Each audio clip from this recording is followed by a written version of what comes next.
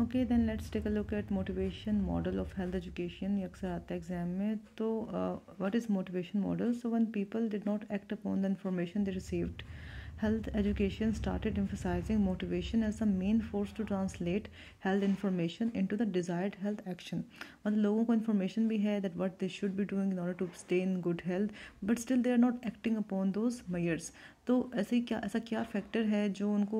एक अर्ज़ करवाए that you need to act on दोस्त that is motivation so one people did not act on the information they receive the health education started emphasizing on motivation as a main force to translate health information to the desired health action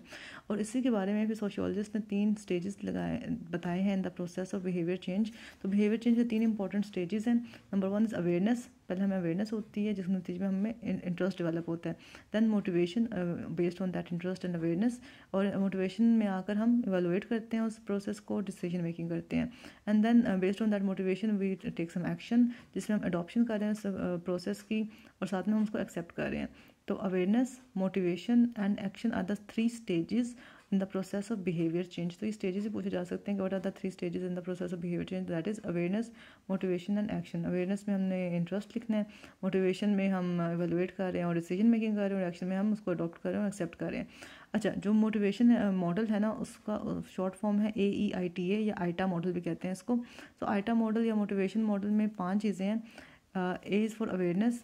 E is for evaluation I is for interest T is for trial and A is for acceptance ये हम आगे देखते हैं। Sorry A is for adoption my bad so awareness AIETA model में awareness है। Awareness नतीजे में interest develop हुआ। इंटरेस्ट हुआ तो उसने उसको एवेलुएट किया। एवेलुएट किया तो उसने उसको उस पर एक्ट किया। उसको उसने, हमने ट्रायल बोला। और उसके बाद अगर वो उसको अच्छा लगा तो उसने उसको उसी मेथड को अडॉप्ट कर लिया, उस हेल्थ का जो मैसेज था उसको अडॉप्ट कर लिया। तो अवेयरनेस के लेवल पे हम क्या करते हैं? The person comes to know about some new idea और practice and he has only very general information about it at the level of awareness फिर इंटरेस्ट में ये है कि in this stage the person is willing to listen और read more about it because there is felt need ठीक है? Awareness नतीजे में उस बंदे में फेल्ट नीड आ गया now he is willing to read about it और लिसन अबाउट इट इंटरेस्ट आ गया उसमें। Then is evaluation that the person weighs the pros and cons of the practice and evaluates its usefulness to him और a family and this result in the decision to try practice और reject it it fourth is uh, trial in this stage the person is uh, uh, the decision is put into practice or implementation by the person and fifth is adoption in this stage the person decides that the practice is good and he should adopt it ठीक है तो iota model में awareness है interest है evaluation है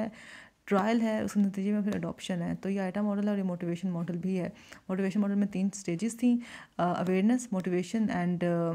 action ठीक है? तो तीन स्टेजेस थी, उसके हमारे पास पाँच स्टेप्स हैं, जो कि हम आइटा मॉडल में देखते हैं awareness interest evaluation trial and adoption तो this is the motivation model for health education